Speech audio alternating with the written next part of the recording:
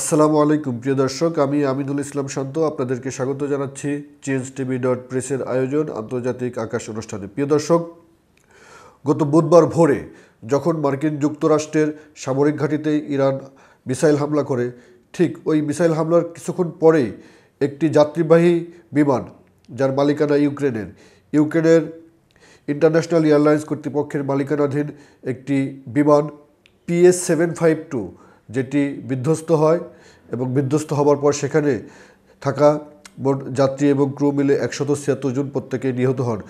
এই ঘটনার ফলে ইরানের দিকে পশ্চিমারা আঙ্গুল উঁচু করে যে এটি ইরানের মিসাইল হামলায় ভূপাতিত হয়ে থাকতে পারে এবং সেটা হয়তো ইরানের অনিচ্ছাকৃত হতে পারে। এই ধরনের বক্তব্যকে ইরান অস্বীকার করেছিল, কিন্তু এখন সর্বশেষ ইরান কিন্তু এ ধরনের সত্যতা স্বীকার করেছে যে এটি তাদের ভুলের কারণে হয়েছে। তাহলে আসলে কি ঘটেছিল এবং ইরান কেন এই দায় স্বীকার করল সে প্রসঙ্গে আমরা আলোচনা করব। প্রিয় দর্শক, ইউক্রেনের যে বিমানটি ভূপাতিত হয়েছিল, সেটি ইমাম খমিনি এয়ারপোর্ট থেকে উড়ে যাচ্ছিল কানাডার টরেন্টোতে। মাঝে তার যাত্রাবিরতি ছিল ইউক্রেনের রাজধানী কিয়েভে। অর্থাৎ ওই বিমানটি যে দেশে, সেই দেশের রাজধানীতে তার যাত্রাবিরতি ছিল।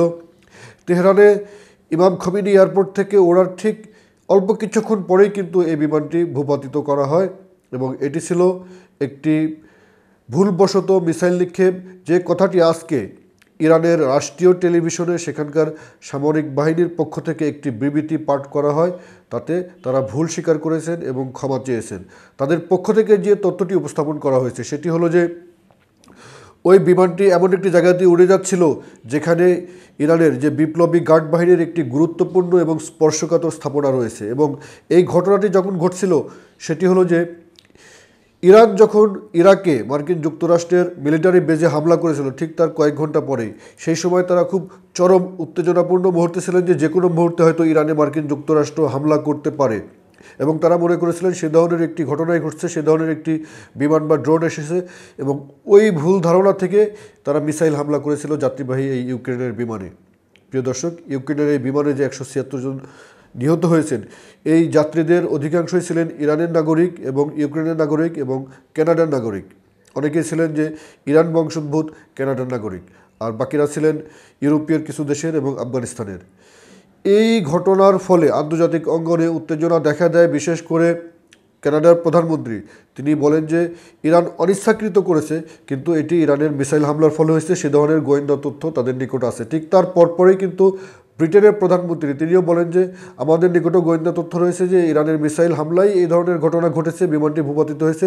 যদিও সেই সময় ইরান অনেকটা অস্বীকার করছিল এবং ইরানের অস্বীকার করার মাত্রাটি ছিল সেখানকার যে বেসরকারি বিমান চলাচল কর্তৃপক্ষের প্রধান রয়েছেন, প্রধান নির্বাহী রয়েছেন, তিনি বলেছেন যে এটি হতেই পারে না। পরবর্তীতে আমরা দেখছি যে এখন সর্বশেষ সরাসরি সামরিক বাহিনীর পক্ষ থেকে একটি বিবৃতি দিয়ে এই ঘটনার জন্য তারা ক্ষমা প্রার্থনা করেছেন এবং বলেছেন যে এটি ছিল একটি মানব ত্রুটি বা মানব ভুল, অর্থাৎ ভুলবশত করা হয়েছে। যদিও এই হামলার সঙ্গে বা ওই মিসাইল ছোড়ার সঙ্গে যে ব্যক্তিরা জড়িত, তাদেরকে জবাবদিহিতার মুখোমুখি করা হবে এবং প্রয়োজনীয় ব্যবস্থা গ্রহণ করার কথাও তারা ঘোষণা করেছেন। প্রিয় দর্শক, ইরান কেন এই দায় স্বীকার করল? কারণ এটি অ্যাভয়েড করার কোনোভাবেই সুযোগ ছিল না। একদিকে যেমন মার্কিন যুক্তরাষ্ট্র, যুক্তরাজ্য এবং কানাডা, তারা এর জন্য দায়ী করছে ইরানকে। অন্যদিকে স্যাটেলাইটের ফুটেজ কিন্তু পাওয়া গিয়েছে যে একটি মিসাইল যে হামলার করেছে ওই যাত্রীবাহী বিমানে সেটার স্যাটেলাইট ফুটেজ পাওয়া গিয়েছে, সেটি আন্তর্জাতিক গণমাধ্যমে প্রকাশ হয়েছে। সুতরাং, আর ওই বিমানের ব্ল্যাক বক্স যেখানে যাবতীয় তথ্য সংরক্ষিত থাকে, ইরান প্রথমেই ঘোষণা দেয় যে এটি মার্কিন যুক্তরাষ্ট্রকে বা মার্কিন যুক্তরাষ্ট্রের যে প্রতিষ্ঠানে এই বিমানটি তৈরির সাথে সম্পৃক্ত, তাদের হাতে ফেরত দেবে না। যদিও আন্তর্জাতিক তদন্তের স্বার্থে তাদেরকে দেওয়ার নিয়ম রয়েছে, কিন্তু ইরান ঘোষণা দেয় যে তারা দেবে না। এই কারণে তারা কৌশলগত কারণে দিতে চায়নি যদি এটা পরবর্তীতে তাদের উপর দোষারোপ করা হয় বা তারা হয়তো শুরু থেকেই জানতেন। কিন্তু পরবর্তীতে অবস্থা যখন দেখে যে বেগতিক, তখন এই দায় অস্বীকার করার কোনো উপায় ছিল না। বিধায় ইরান স্বীকার করেছে এবং তারা এর জন্য ক্ষমা প্রার্থনা করেছে।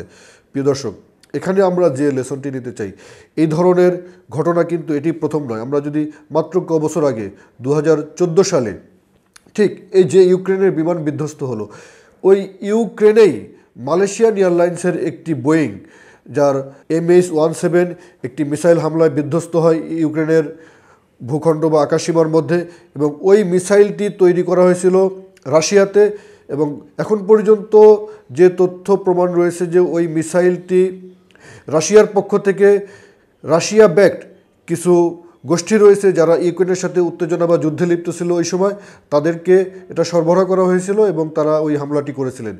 ওই বিমানের যাত্রী ছিলেন দুইশত তিরাশি এবং ক্রু ছিলেন পনেরো জন। মোট দুইশো আটানব্বই জন প্রত্যেকেই কিন্তু নিহত হয়েছিলেন তাৎক্ষণিকভাবে। এবং মালয়েশিয়ার জন্য ওই বছরটি ছিল খুব দুঃখজনক কারণ ওই বছরেই মার্চ মাসে তাদের একটি ফ্লাইট, যেটি কুয়ালালামপুর থেকে চীনে যাচ্ছিল রাত্রেবেলা সেটি নিখোঁজ হয়েছে। সেই বিমানের কোনো কিছুই আজ পর্যন্ত তথ্য কুলকিনারা করা যায়নি যে বিমানটি কোথায়, কীভাবে গিয়েছে।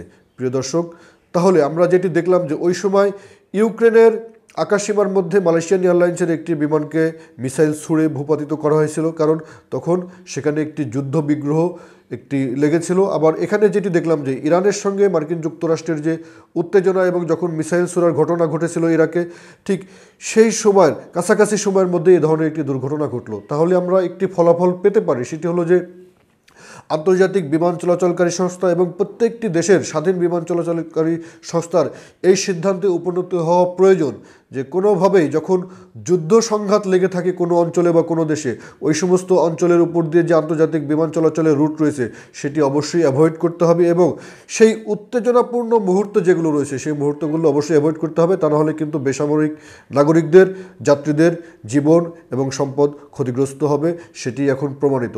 তাহলে আন্তর্জাতিক বিমান চলাচলকারী সংস্থা এবং প্রত্যেকটি স্বাধীন দেশের তাদের নিজস্ব যে বিমান চলাচলকারী সংস্থা, প্রত্যেকের এই সিদ্ধান্তে পৌঁছা উচিত যে মানুষের জীবনকে নিরাপদ করার জন্য প্রয়োজনীয় এই উত্তেজনাপূর্ণ সময়ে বিমানের ফ্লাইট বাতিল করতে হবে অথবা বিমানের ফ্লাইট ডিলে করাইতে হবে অথবা বিকল্প রুট ব্যবহার করতে হবে।